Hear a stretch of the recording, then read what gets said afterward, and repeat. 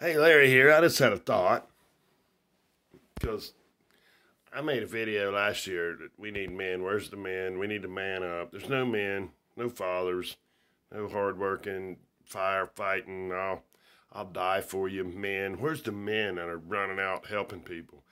Being men.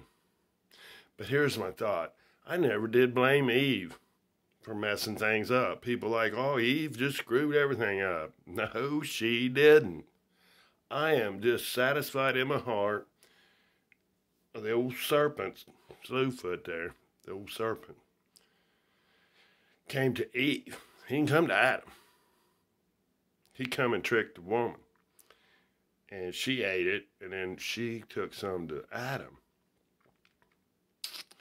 I don't think anything happened when Eve ate it and you can call me a chauvinist, whatever you want, but we got places in life. There's a man, a woman, and a child, and there's God, and there's your boss, and there's servants, and there's it's the way it is.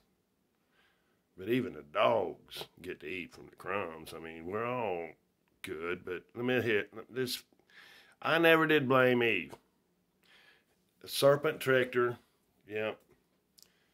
Tricked her. And, sure the devil's a liar and the father of it, but he tricked Eve, and then Eve took some fruit to Adam. And if Adam, it's Adam's fault. If he'd have just said, like Job, shut up, silly woman. No, I ain't eating that. God told me not to. You better not do it again either. I believe it wouldn't, have, it'd have been all right. That's the way I see things. Men, you need to grow up and accept responsibility. Yeah. Make sure you raise good children.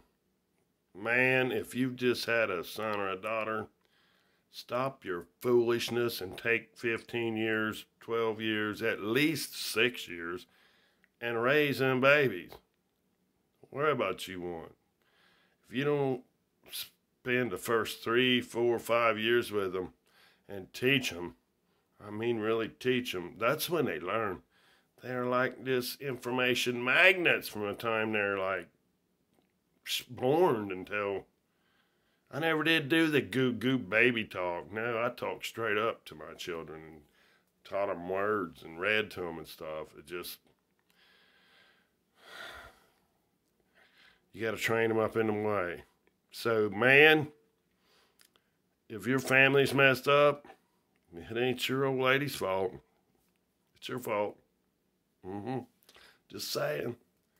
And that can be misconstrued, and, and there is exceptions to every rule to where, damn right, it's her fault. But I don't blame Eve for messing things up.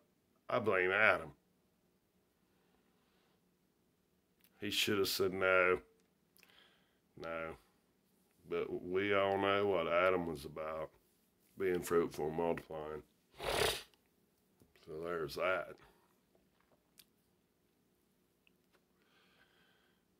But we need some men to man up, take responsibility, and quit blaming society and your upbringing and your truck broke and oh I can't do it and I'm not no no. Excuses is like armpits and assholes. Everybody's got two or three.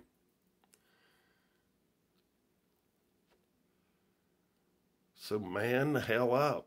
For real. Start praying for your children. I don't care if you're a shit sack. I believe you can still pray for your children. If you are born again, if you've had a relationship with Jesus Christ, and even though you, if you've messed up and fall by the wayside, and you think you you can't pray for yourself, surely you can pray for your children. Surely